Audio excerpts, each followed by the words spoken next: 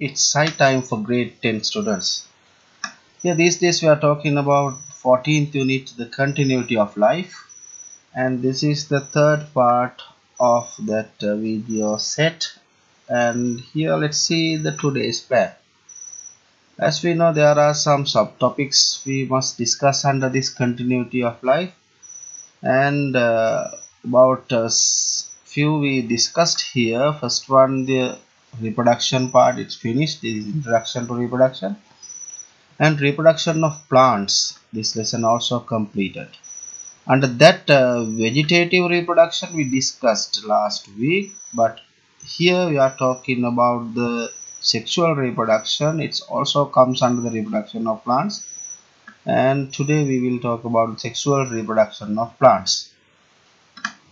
Right reproduction of plants. This is the recap from the last lesson. Plant reproduction it's of uh, two types vegetative reproduction and sexual reproduction. Vegetative reproduction occurs in two ways natural vegetative reproduction occurs through these things rhizomes corms bulbs stem tubers or such things. And the artificial vegetative reproduction on that also we learned some steps uh, just like uh, different methods uh, planting the, the stem cuttings or layering technique, budding technique and also tissue culture. So today's lesson is the sexual reproduction. Here's the unit of sexual reproduction that is the flower. Let's start our lesson from this point. Sexual reproduction. Flower is the reproductive organ of plants and fruits and seeds are produced from flowers. This is the first fact. In some plants, fruit grow without forming seeds. That is something you can just remember some fruits. Fruits produce but without seeds. In some plants we can see that also. This process is known as parthenogenesis. Remember the term parthenogenesis means producing fruits without seeds. Sexual reproduction via seeds is the complex process. Actually, this lesson will be a long one. There are a number of contents to discuss here. Sexual reproduction is necessary for the survival of plants. Sexual reproduction also important for the variations or to evolution of the plants. Right. Parts of a flower. Basically, these parts we have learnt in previous grades. Uh, just uh, again recall these things okay i will start from this one. This is called pedicel or the peduncle or the stalk. Peduncle part this part. And uh, it is the part that fix plant the flower to the stem. And this is the receptacle uh, and it acts as stage of the platform for the flower. Then these ones are sepals and here these colorful ones are the petals. And basically these components uh, provide the protection for the flower. And ovary is the female part of one of female part of the flower. And this is style and top stage is the stigma over style stigma, these three considered as the female parts of flower, also called pistil. And this one filament and this is anther. These two are the male parts of, of, of a flower. So this flower is a bisexual flower. It has female part and the male parts. And let's go to this one. This is the male's part of the flower and uh, this is anther and there are pollens here. The pollens are the male gametes. And uh, in androecium or the stamen they form. This section is called the androecium and these pollens are haploid. That means they are end cells haploid cells. Then female part this one ovary it contains ovules ovules are the female gametes and it also a haploid cell in cell. Then pollens, once the pollens and ovules unique, then diploid cell will form. And this part is called gynoecium or the pistil part. Stamen and pistil. Stamen the male part, pistil is the female part. Next, let's identify, try to identify, this is a real uh, flower as it is separated here. Can you identify the parts here? Let's start from here, these the colorful petals here, these are the petals and these green color ones, they are the sepals and uh, here you can see the ovary and and the stigma should be here. And that is the female part. And these are the filaments and anthers. So that's how we can identify the parts of flower. This is a shoe flower or lebec uh, sorry hibiscus flower. And uh, functions of flower parts. Here there is flower and separated main parts First I will pay attention to this one. These are sepals. Is the function of sepals so it's called the calyx. Calyx is the whole of sepals. What is the function of this calyx? It is the protection of flower bud. And this one petals or corolla colorful whole of the flower there are two functions one is protection of inner parts of flower and attraction of insects for the pollination. We will learn about pollination hereafter. Next this one. Guess it. It is the male part and androecium or the stamen its function is production and releasing of pollen grains male gametes. And then this one. This is the female part gynoecium with ovary and the stigma style. And gynoecium or the pistil its function is production of ova. Ova are the female gametes. Right. Then this is the these are the functions of main parts of a flower right. Then move on to the sexuality of the flowers. Why do we talk such topic here? Sexuality of flowers.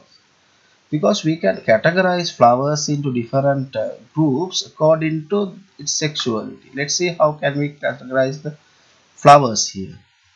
Flowers can be categorized as bisexual flowers. That means in bisexual flowers you can see pistil and a stamen both houses in one flower. Both stay in one flower here. That's why we call them bisexual flowers. That means there are unisexual flowers as well. And unisexual a unisexual flower means it has separated pistillate flowers female flowers just with that pistil pistillate flowers and staminate flowers in staminate flowers there is stamen only and, the filaments Therefore, in unisexual flowers, there are two type of flowers as pistillate and staminate flowers. Let's talk about this one in details. Bisexual flowers. Here are the bisexual flowers and examples. This is hibiscus. In that one we can see this is the female part, this is the male part. And here in this one, this is brinjal, male part, sorry female part and male part. This is yes guess it. This is passion fruit. And these are the male parts or the anthers and these are the stamens uh, anthers and this is the pistil or the stigma here. This is stigma this is the ovary. Yes next one this one is the sesbania flowers in Sri Lanka we call Katurumurunga. In them also we can see male and female both parts in one flower. Here these ones are the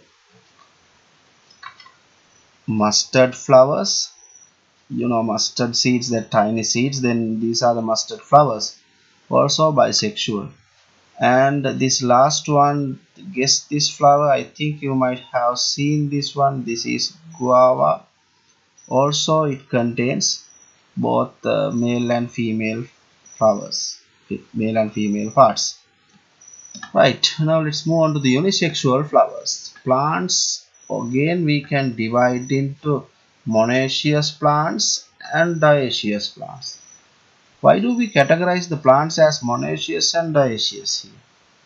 Because the reason is this. In this plant you can see male flower and female flower. Both houses in one plant. That's why we call them monoecious plants. Both the male female flowers but they are unisexual flowers uh, found in one plant examples this one corn or maize. You can see this is the female flower and these are the male flower. Both live in one plant. This one pumpkin. This is the female one you can guess it uh, because the fruits produced in the female flower and this is the male flower. Male female both flowers found in one plant. And this is coconut. In coconut these are the female flowers and these are the seed like ones are the male flowers. So in them male female both flowers found in one plant monoecious. And dioecious plants in them you can see there are male plants and female plants. That means the male flowers are in one plant and female flowers in one plant. What are the examples? This example you can see this is pepper male plant and female plant. Male plants never produce fruits. Fruiting take place in female plants. And uh, this is Vallisneria. Again in Vallisneria also male and female two plants we can see. Here this is dates and male flower and female flowers. They are housing in two different plants. Likewise, we can categorize plants according to monoecious and dioecious by considering the unisexual flowers and how do they exist or they established on the plants. Next, pollination. See this. There are two flowers. I have named here the pollen grains. This means the male part in this flower and the female parts in this flower and to complete the reproduction sexual reproduction process male gamete must meet female gamete let's see how the process take place. Male gametes first release out the pollens. There are agents who carry these pollens. Let's take an agent here just like this bee bee is carrying pollen from one flower to another flower. And the pollens carried carried by the bee because of that we call the bee as the pollinator. This is the agent of pollination. And then pollens come to the stigma of this flower. And to complete or to when defining the pollination there should be some factors to pay attention. One thing the pollens must fall on the stigma the other fact is these two flowers must belong to same species. And that process is the pollination. Sometimes the pollens of same flower can pollen on the stigma of the same. That also pollination. No matter with that. So let's see the factors. Pollination is when pollen grains from one flower falls on the stigma of the same or different flower belonging to the same species. Yeah, that means if it is a shoe flower, the pollens of shoe flower must be pollen on another shoe flower to complete this pollination process. Right, then pollination types. Look at this. This is the anther and there is a pollen here if that is travel to the same stigma it's called self-pollination and uh, next occasion there is a pollen here it's traveling to another flower's stigma or the pollen from this flower coming towards the stigma of the other flower. This is called cross-pollination. Therefore, pollination is two types as self-pollination and cross-pollination. The self-pollination is disadvantageous. Therefore, plants always trying to reduce the self-pollination and promote the cross-pollination. Because if self-pollination take place, there is less chance to occur variations. Plants need to produce more variations and to get uh, some the strong and strong young generations. Therefore, they will try to reduce the self-pollination and promote the cross-pollination. Let's see the adaptations to avoid self-pollination.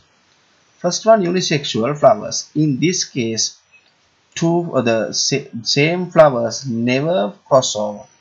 I mean uh, the pollens of this flower will never fall on the same flower. It's because uh, this flower has no female part and this flower has no male part. This is staminate flower and pistil, pistillate flower. Examples in corn we can see that. Also in pumpkin we can see. And in pepper we can see this. Unisexual flowers. Second one dichogamy look at the diagram. Dichogamy means these two male and female parts mature at two different times. Two different times. One mature early other one mature later therefore when this one this stigma maturing or this uh, female part maturing the pollens are not produced by that as it is not matured. Therefore, it can prevent the self-pollination. Next, examples. This is Catharanthus. You know this is uh, the famous, uh, you might have seen that flower. It's a popular flower in Sri Lanka. And uh, this flower, yes, this is again the maize or the corn flowers. And these flowers also show that uh, different maturation or the dichogamy next hercogamy. In this case you can see the stigma and the anthers. They are situated at two different levels. As the anther situated at the bottom there is less chance to travel these pollens to the stigma. There is less chance they there are examples. This flower the catharanthus flowers. And uh, look at this flower. And uh, this is kind of orchid flower. Clearly we can see here there is stigma at top and the anthers at bottom. Right. Then extrorse stamens. What does it mean stamens or the anthers they just stay away or the bending away from the stigma by keeping certain distance here. And to reduce the chance to travel these pollens on this. So examples this one is called lebec flower and in Sri Lanka we call it Tora and this is jasmine these are the examples for extrorse statements. Self-sterility. Look at this. Self-sterility is a strong adaptation to prevent the self-pollination. That means if a pollen falls on the stigma of this flower, it is useless as this uh, style does not, a stigma and a style does not allow that pollen to travel towards the ovary it's completely a kind of chemical response. Therefore there is no chance to pollens to meet these ova and examples uh, familiar flower this is the passion fruit flower.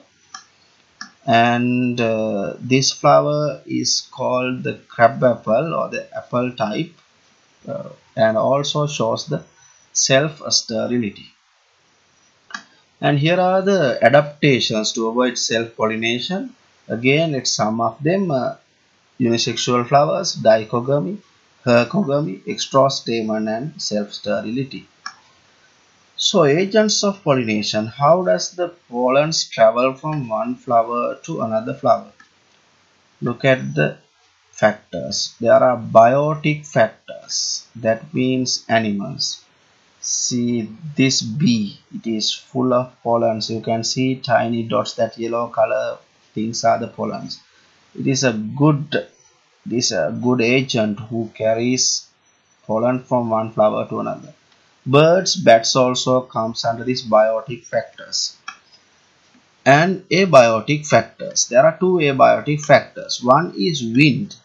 In some plants the pollens uh, travel through the wind in this case, these flowers usually situated at the crest of the plant, at the top of the plant. Corn or maize also the same. At the top of the plant, you can see the pollen, uh, pollen producing or the male parts. And the number of pollens or thousands, millions of pollens they produce at once to spread it to far distance.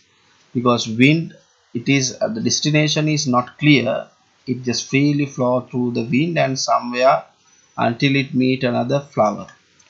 And uh, water releasing pollens to water this is Vallisneria but don't entangle this one. Spreading seeds by water is not comes to this category. This is the sending pollens through water. Vallisneria is an example for such plant releasing these pollens to water then it travels to water and meet the female parts. And these are the agents of pollination. Next post pollination phenomena. After the pollination what happens?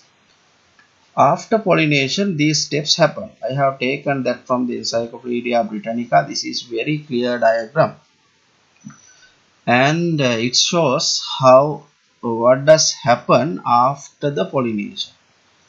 So here it says the parts of the flower the pollen grain it's coming from the anther. Once the pollen grains are fall on the stigma these pollen grains have ability to make a tube through the style there is a cell called tube cell. It makes a tube like this. This is a chemical response and it's a chemotropic movement and uh, with that chemicals or the chemicals secreted by the ova this tube always move towards the ova. And through the tube that uh, sperm nuclei or the gamete cells or the end cell is sending through that. That cells then come and meet the ovary you get this one the in the egg nucleus the sperm cell has come and it meets the the ova and these are the ovules finally it forms a zygote here. And zygote is a two-end cell or diploid cell. Then haploid cells came here and met another haploid cell. Finally two and other diploid cell form this is the normal process of sexual reproduction. Thereafter it grows as an embryo and this embryo developed into a seed. And uh, then when seed germinates the seedling take place. So this is the process of post fertilization process. And what happens to the flower hereafter? Once the fertilization complete the petals and sepals wither off. They remove off. And uh, the ovary it develop as a fruit this ovary become a fruit. And uh, the ova they become seeds. And the peduncle or the stalk of flower becomes the stalk of the fruit. So those are the changes happen after the fertilization. Now seed dispersion. Once the seeds are produced how they spread to far distance one method is by the wind. There are some seeds which has very light seeds. Number of seeds they produce light seeds, light in weight, and uh, they have some structures just like feathers or cotton or maybe wings to fly through the wind and they are just uh, floating over the wind and going to the far distance second one by animals Look at these examples. Some just cling on animals. hang on animals with these hook-like things or the sharp spines. Or some provide fruit to the animals. Actually, uh, this is a, this is kind of a tricky thing. The animals once they eat this fruit, they eat with the seed. Then seed also carried with the animal somewhere, and they are getting chance to spread to far distance with this one by animals. Second agent is animals. Third one by water. Some plants release seeds to water. Then through water they float and travel to far distance. Here are some example. Lotus cat's tail and coconut. The coconut fruit whole fruit floats through the water. It has soft outer cover or the it has kind of less dense fruit to float over the water easily Next one by bursting or explosive mechanism. Some plants burst or explode to disperse their seeds out and exploding and spreading them out. Here are the examples for such ones. And rubber seeds also does the same thing. Now the modern one is by the human. We spread lot of seeds actually artificially by the farming of when uh, doing the agriculture we spread them. Also without purposefully we just carry them to far distances. By vehicles flights or ships from country to country we uh, just uh, send them or the spread them. Actually that is also a tricky thing in the plant uh, because we use them as the food. That's why we spread and that's why we grow them so there are some tricks or some tactics in plants to disperse the seeds into far distance and to disperse their species to wide, this wide area. So next one the seed germination. Once a seed spread and falls on the soil, the seed will germinate. If the seed is a dicotyledonous seed, it goes under these steps.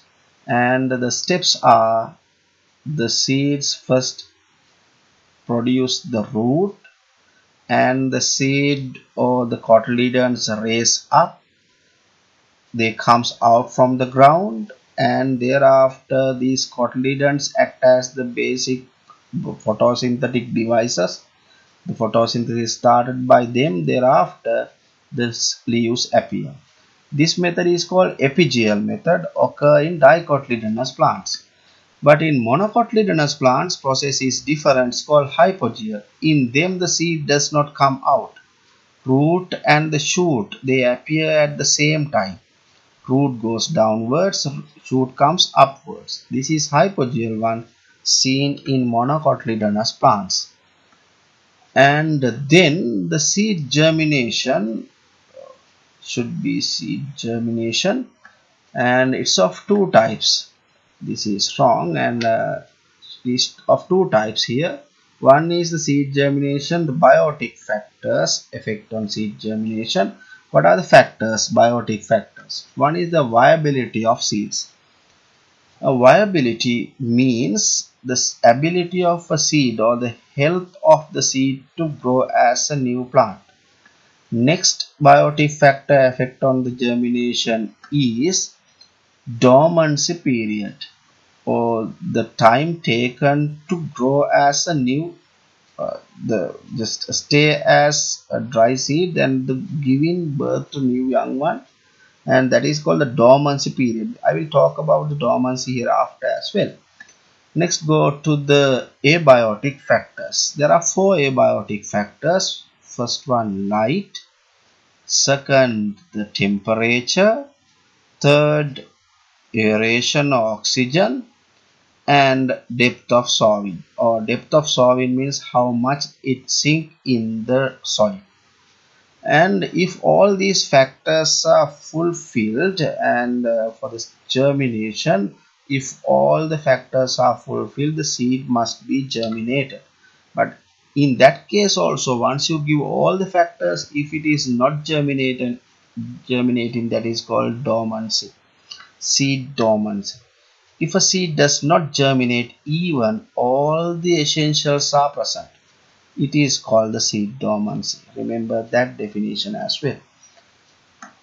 And this is the end of our lesson. You can find the note or read the note from our blog site www.itsscitimblogspot.com and you can copy down the note to the tute. Next uh, lesson is about reproduction of man and the male reproductive system. From the video part 4 we will meet to cover up this part. If you gain something from this video you can press the like button or to get the video notifications first you have to subscribe the youtube channel and press this bell icon. So we can meet next day. Till that goodbye everybody